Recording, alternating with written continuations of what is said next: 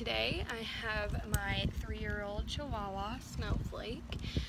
Um, she's had a few injuries from this, but um, we take care of them very well, sorry.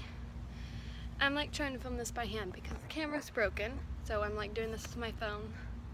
So I'm like literally gonna have to walk over and turn it off, so sorry about that. Um, but anyways, this is new, and I'm here to teach you guys how to jump with your dogs. Okay? Without hurting them or scaring them. So, let's get started. Now, for any dog, it's important to start them off small. Um, especially for a small dog, but this is for any dog. Need, well, my jumps haven't came yet. But I'm just using some brooms for now. Brooms or mops will work. Just make sure that you have them used to it. So I'm gonna start off I'm gonna start off with a simple ground rail. It's not very high. Ground rail should not be any higher than an inch off the ground. So I'm gonna come ahead, I'm gonna give her a good five or six feet to get going. So, good girl. Easy. Hey, hey. Good girl. And you need to teach them to halt about here. That's about good six.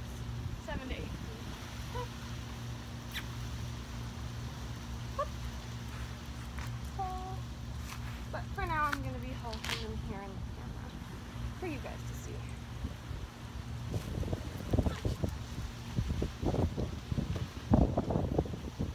Sorry about that. And now I'm just to go ahead and edit this just a little bit. Okay, so I have my my small ground rail there. And then I'm to take some slightly longer ones. And a, a small dog stride can range anywhere from about the length of their leg at the trot, because most dogs won't canter jumps. But, um, yeah. So we're just to put that about here. This is to be a complex bounce which means there a normal bounce would just be like this, but this is a complex. So it's gonna have pretty much three parts. Now for her, she has actually a pretty pretty big stride, so I'm gonna say one, two. Okay. So for her, a bounce would probably just be like some walking rails for me.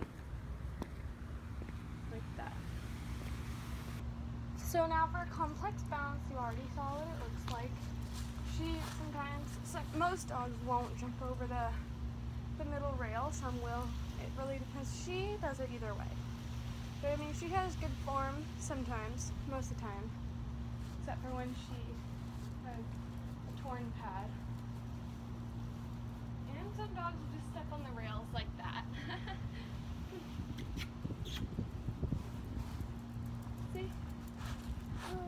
Uh, I'll show you from the side angle.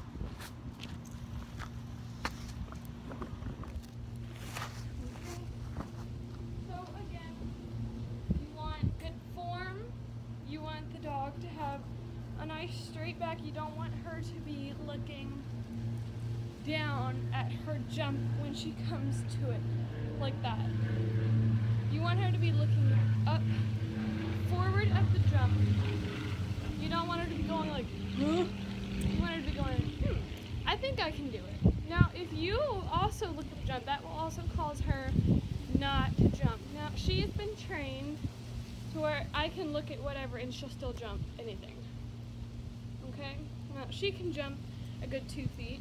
Um, my, my other dog, I don't have him out today, he's at a show.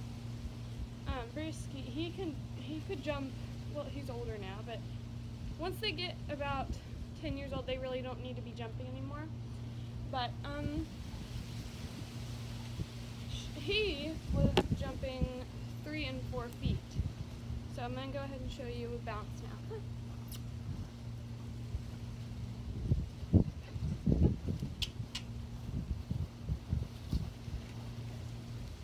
Good. And dogs English, so you really, oh, you really want them, you really, you really want to talk to them as if you'd be talking to a person. Because they actually do understand. See, she understands go and jump. Okay, so Snowflake, I want you to look forward, bring your head up over jumps. And if you really want to get a feel of how your dog jumps over bounces, just hold a nice tight rein and you can feel the way that they move and how they do it. So, yeah, that's that. So now we're going to take away the ground rail and I'm going to show you what a bounce looks like and they can be a little bit more challenging for dogs. Now there are two types of bounces. There are regular bounces, which is just about a step of my foot in between. Then there's collected bounces, which are not very big. They'd probably be like a tiptoe in between. And then there's linked bounces, which would probably be about two steps for me in between, but you have to have a really very um, well trained dog to do extended bounces. So, yeah, yeah, but I mean, she's not that. She's not trained well enough for that yet. She's actually just started training. She can only jump about two foot. Okay, and now I'm gonna show you from the side what that looks like, and then I'll show you what it looks like from the front and behind. Now she might put um, a stride in between it, like she just did here, or two. Um, that's only because she's smaller, so that means we might have to make her bounce just a teeny bit smaller. I think I'm gonna move the black rail closer. So again, it should just be one stride in between for you. Okay? And she shouldn't make a stride she jumps it. Just like that. Good girl.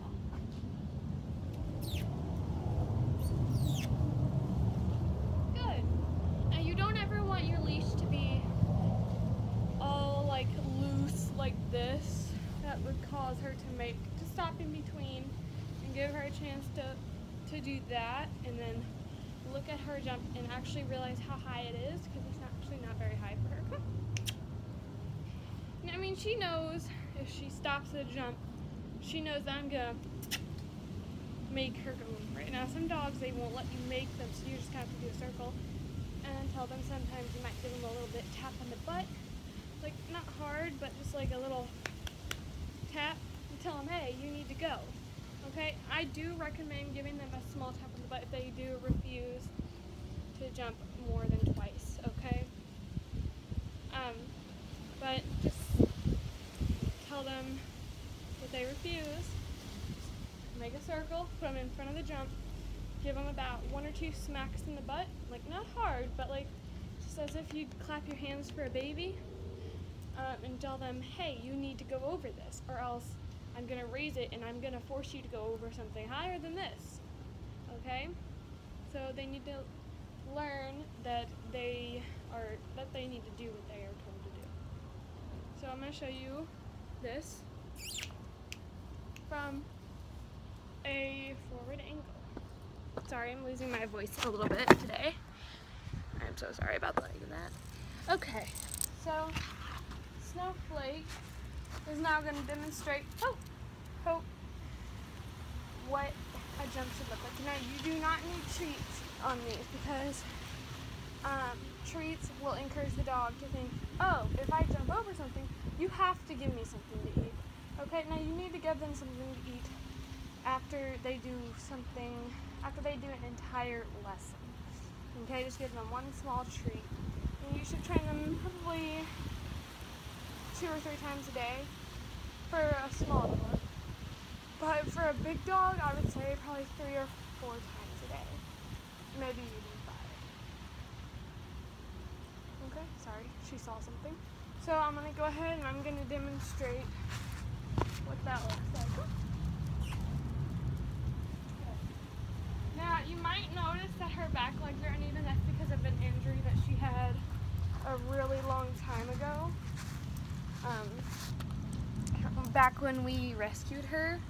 Stand. Doing this can help keep your dog's body straight.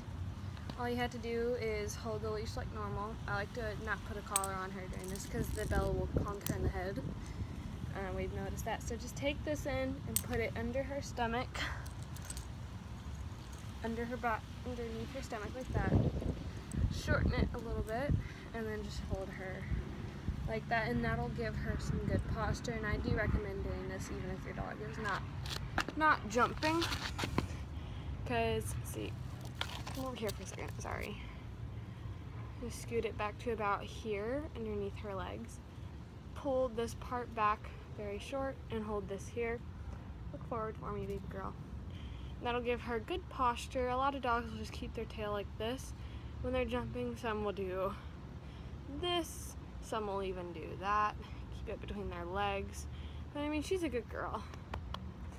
Um, she's learned good posture even, see, even when she's not doing anything. I mean, you don't want your dog to be where they can't see the jumps. You want them to be normal, okay?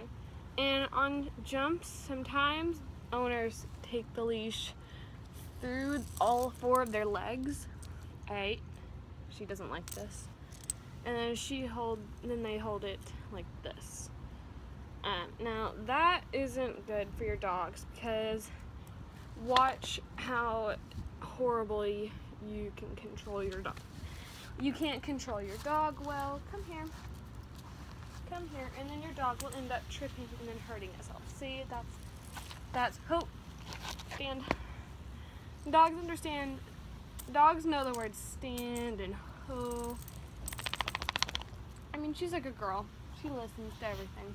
So I'm to move on to something a little bit higher, higher level. Okay, so now I'm going to teach you how to make the dog jump across.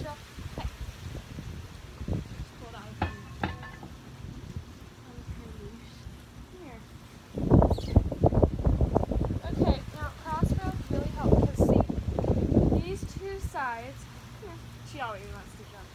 She loves jumping. Hope, stand. Um, she didn't like it at first, but I mean, once she got used to it, she had a ball with it. She still does. Okay, so anyways, cross rails are good because they're teaching your dog to jump the center, not the side or the other side or like this. They're teaching her, you're, you're teaching their dog how to jump in the middle of the jump and stay center and looking forward. Okay? Because usually dogs don't want to jump very high unless it's a vertical thing. They don't have a choice. Um, some, most dogs won't jump the sides because they're higher here. I don't recommend doing this because that'll just teach your dog to go over to the side. I do recommend teaching this because it'll teach your dog, hey, I need to jump. Okay, fine. But I mean, if you're going to be doing agility and not just jumping, for fitness, um, I do recommend setting them up a little bit longer and making cavaletti jumps for her or him. And I'll teach them to make sharp turns after jumps, which is something that they'll need to learn if they're going to be doing agility. Turn. I mean, she loves to jump high, so she's really not going to jump at the center. But I mean, oh, good girl. Cool. Um. Now, I mean, sometimes if your dog likes to kind of move over a little bit, you're going to want to put a rail here a little bit more. We're just going to pretend that that's a vertical and it's going to teach her, hey, I need to jump this way. Come on. Well, she likes officers. She'll jump all three of those. Come on. We'll see how it teaches her, hey, okay, I gotta jump here. See? She's a good girl. She has good form. I'm not going to show you the side of this because you're really not going to be able to see that. Stand. Okay. And now, I wasn't even to that. Now I'm going to teach you how to jump a vertical and an oxer with your dog. Now for verticals, your dog is just going to need one rail, okay? Unless they have a distance problem, what she does, then you're going to need to put a shorter rail right literally underneath the jump, like on the ground, okay? So create it so that telling her, hey, there's a rail there, and you jump over that too. Okay? So I'm to show you with it and without it. Oh, she did that. Sorry about that. She, see, well, I've been working good with her on getting rid of this problem. Um, and she's been doing really good about it. So I'm going to go ahead and get rid of that. And I'm going to show you how close up she really jumps to things without that there. Okay?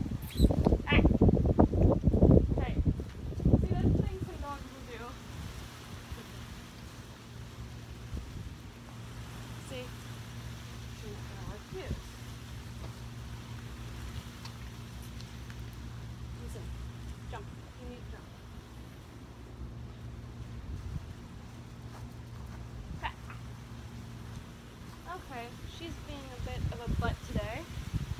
So I'm just gonna go ahead and put this here.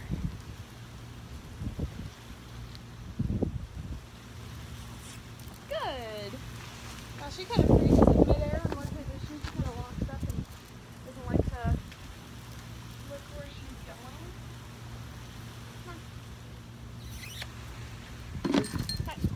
Hey, what are you doing?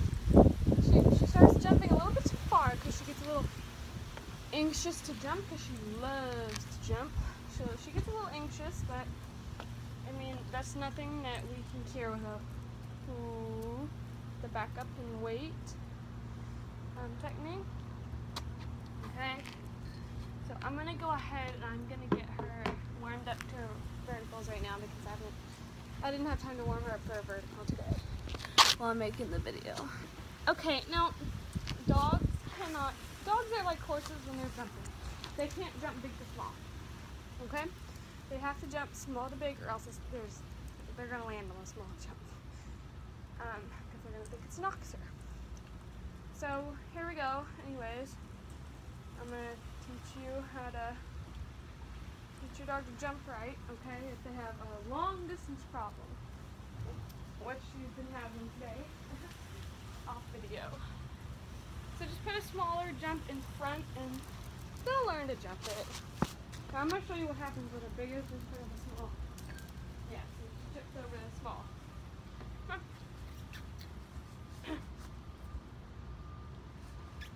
Go. That's something that you don't want your dog to learn how to do okay? You don't ever want your dog to learn how to jump, jump one jump and go under. You don't want that at all. So I'm going to show you a small technique to, come here, I'm to use you as a leap, as a thing. Okay. So I've been using just this part of the leash but that's been like way too loose for her. If you have a dog that pulls too much, just take the loop and the snap of your leash, put the snap through the loop and pull, okay? And then that makes the more you pull, the more they pull on you, the tighter it's gonna go on them. So that makes it telling them, hey, jump, jump, jump. It's gonna tell them, I'm gonna keep annoying you and pulling on your neck until you jump. So, here we go. Oh, sorry about that. I didn't even realize she was that relaxed. Sorry. She loves to jump. She's a good girl. She's just being lazy.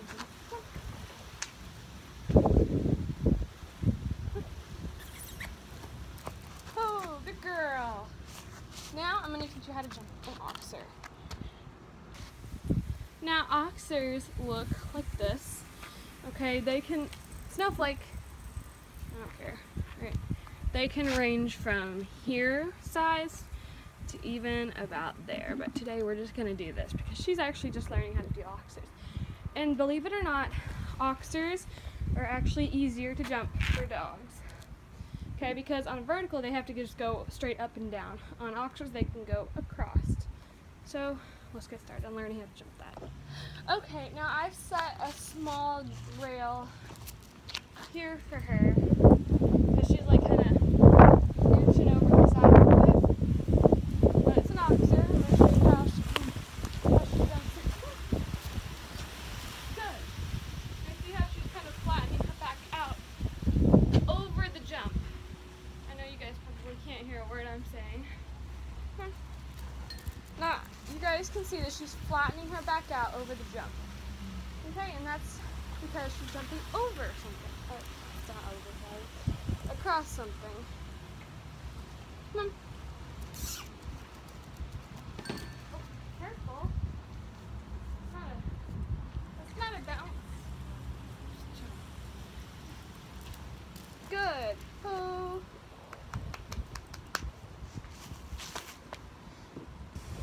Now, let's go to the tip of the day.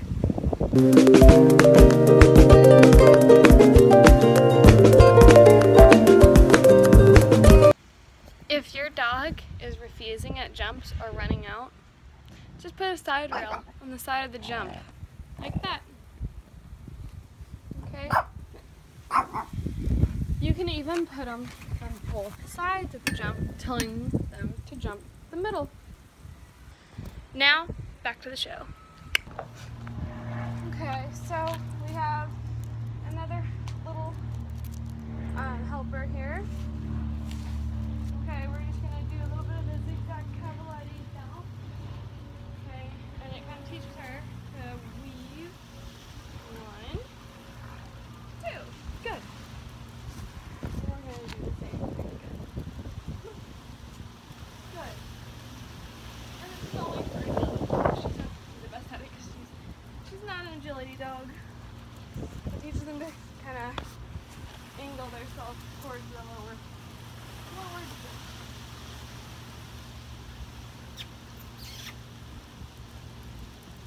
Oh, girl. Oh. Okay, I hope you guys learned lots from us.